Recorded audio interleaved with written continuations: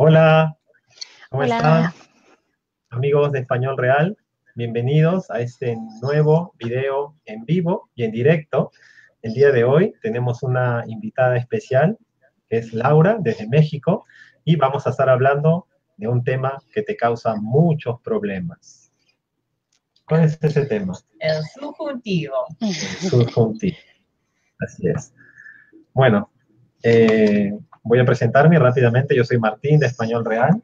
Soy Hannah de Speak Better Spanish, de español. Y tenemos a Laura de México.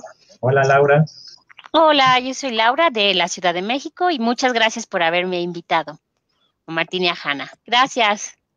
Gracias. por venir. Gracias por venir. Bueno, amigos que nos están viendo, la idea de este video es eh, darte eh, este contenido de valor que puedas eh, resolver tus dudas sobre el subjuntivo y también que tengas la ocasión de escuchar a tres hispanohablantes con distintas formas de hablar, distintos acentos, así que aproveche este video, esta conversación, como un ejercicio auditivo. Sin más, comenzamos con nuestra conversación de hoy. Eh, bueno, Laura, ¿puedes explicarnos qué es el subjuntivo y cómo se usa? Bien, pues el subjuntivo es un modo verbal que expresa una acción, un proceso o un estado, pero de forma hipotética. Es eh, dudosa, eh, incierta o es algo que deseamos también. Y bueno, se contrapone al indicativo porque el indicativo son acciones, hechos reales y el subjuntivo son deseos, dudas, ¿no? Todo lo que quieres hacer y por lo general aparece en oraciones subordinadas. Sí, Martín. Perfecto. ¿Algún ejemplo tal vez para que a nuestros estudiantes les quede claro esta explicación que acabas de dar sobre el indicativo y el subjuntivo? Sí, bien, pues me gusta el de deseo que me regales un collar. ¿no? Ahí tenemos nuestra frase principal, tenemos el qué y en la siguiente parte tenemos que me regales, que sería tu, el subjuntivo. Esa sería la estructura como básica. Ajá. Entonces, una clave, un consejo para nuestros, ah, las personas que nos están viendo sería la palabra que, ¿verdad? si ven la palabra que. Puede ser que vamos a estar usando el subjuntivo. No necesariamente, pero puede ser que sí. Es una señal. Exacto, si no, no siempre, pero en la mayor de los casos sí, ¿no? Introduce nuestro subjuntivo. Muy bien. Eh, ¿Y cuáles son ah, los tipos, ¿no? Eh, o los casos en los cuales se usa el subjuntivo y algunos ejemplos, si podemos ver también de estos casos. Sí, claro, Martín. Mira, eh, Martín y Hanna, por lo pronto tenemos nueve, nueve verbos que eh, definen, que nos introducen, por ejemplo, deseo, ¿no? Número uno, deseo. El verbo sería desear, preferir, esperar, ¿no? Por ejemplo, espero que me ame, ¿no? Toda la vida, Como deseo. Tenemos petición, como verbos tenemos pedir, rogar, solicitar. Un ejemplo. Te ruego que vengas a recogerme al aeropuerto. Nos introduce ¿no? el, la petición. Número tres, tenemos orden. Eh, verbo, el ordenar o exigir. Un ejemplo, me han ordenado que haga este trabajo, por ejemplo. Tenemos ahora número cuatro, permiso. Como verbos tenemos dejar o permitir te dejo que vuelvas o que regreses tarde, ¿no? Te dejo, permiso. Claro.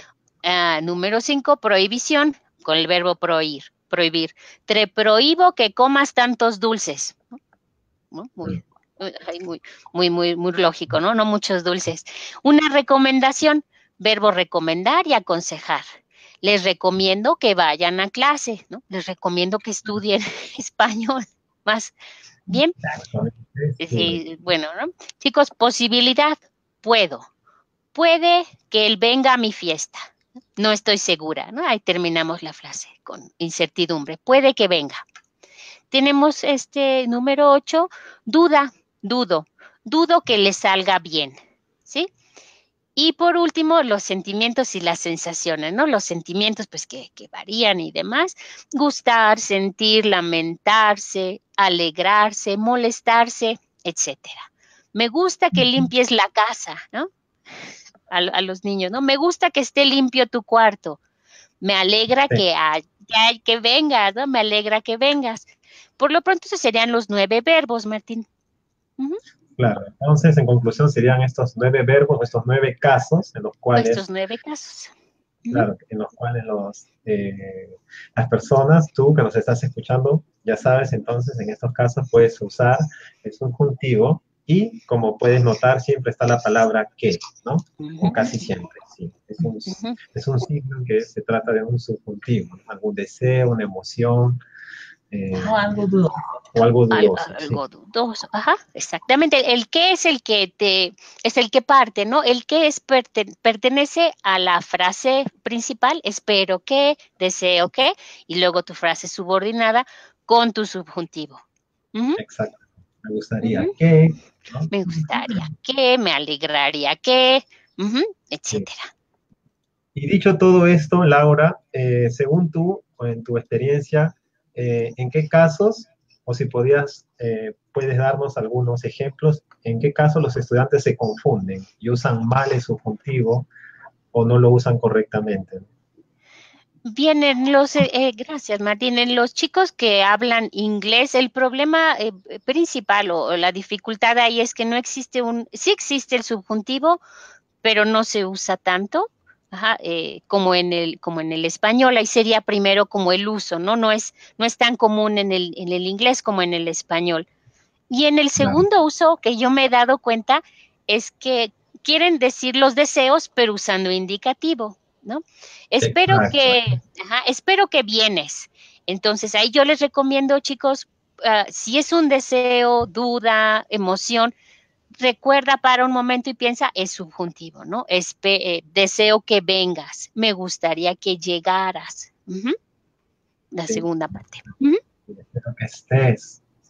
espero que estés.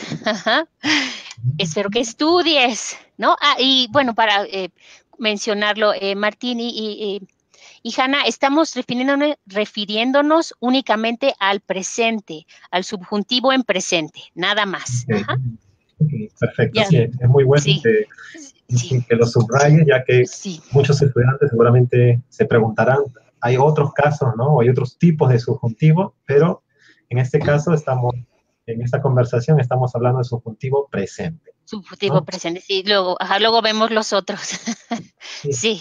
Con el subjuntivo ponemos eh, como un cambio las terminaciones de los verbos. Si es un verbo de AR, ponemos la terminación de ER en el caso de subjuntivo. Entonces, hablar en el indicativo sería yo hablo, en el subjuntivo yo hable. Eh, por ejemplo, comer, en el indicativo yo como, en el subjuntivo yo coma. Entonces, eso para darles una idea, si no saben exactamente cómo se reconoce un verbo en el subjuntivo. Es así que tiene una terminación diferente que el indicativo, pero muy parecida. Eh, sí, quisiera decir, Hanna, que es como si estuvieran invertidos, ¿no? Los AR toman la E, los ER, IR toman la A. Ajá, como que se invierten ahí. correcto.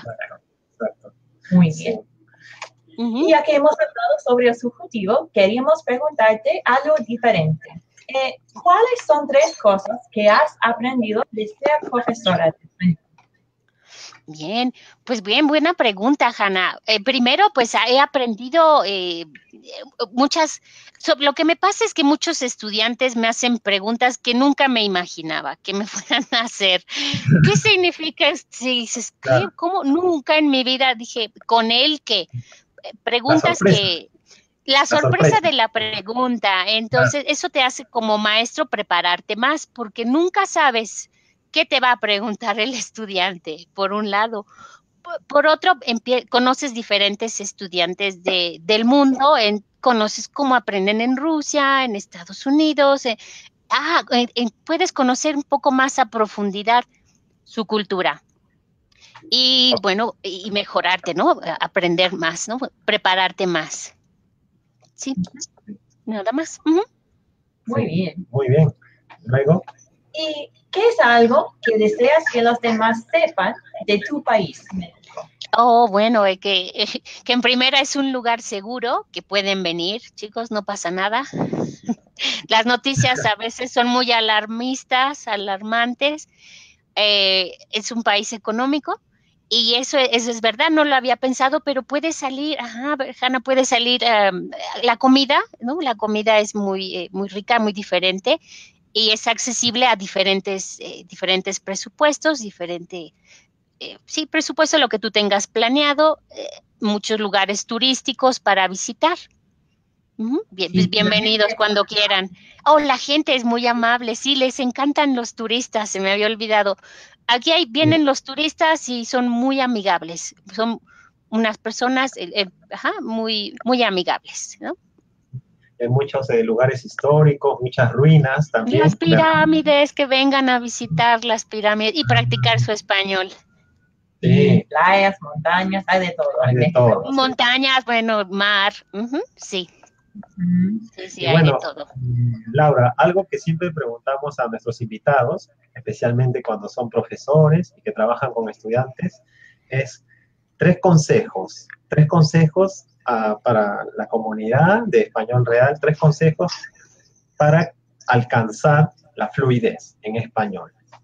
Sí, bueno, chicos, para, eh, gracias Martín y, y Hanna, lo que yo les digo a los chicos, mínimo tienen que dedicarse 20 minutos al día, u 20 minutos diarios. Con eso es suficiente que tú te dediques, ya sea que estudies, leas, lo que sea, pero en 20 minutos. Después, eh, para poder hablar, que es lo que todos queremos, en otro idioma es entrenar tu oído. Eh, con eso tú vas a poder entender lo que te están diciendo y poder hablar.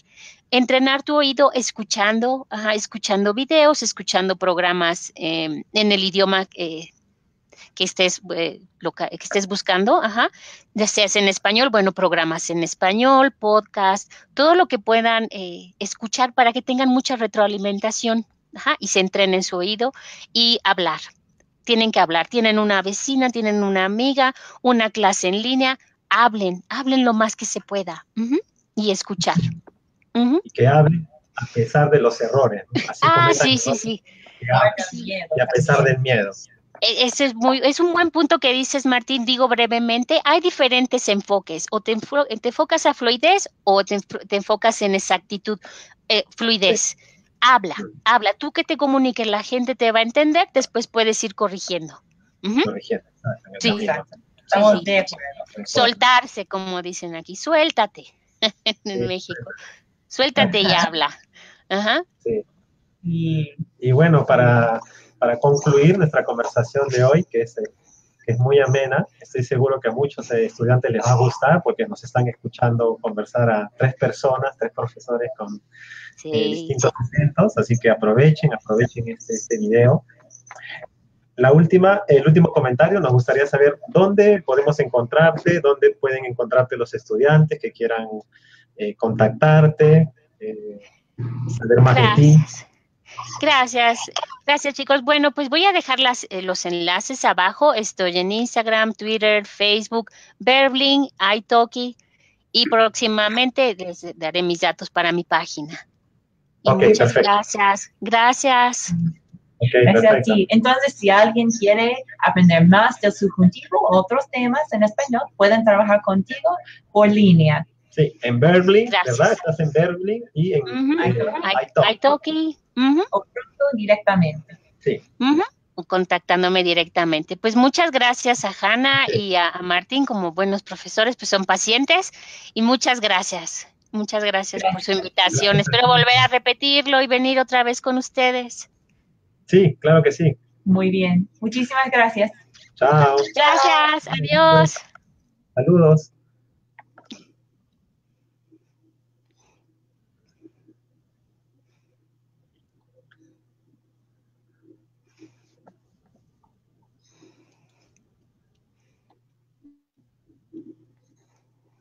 Vamos a esperar, ahí está.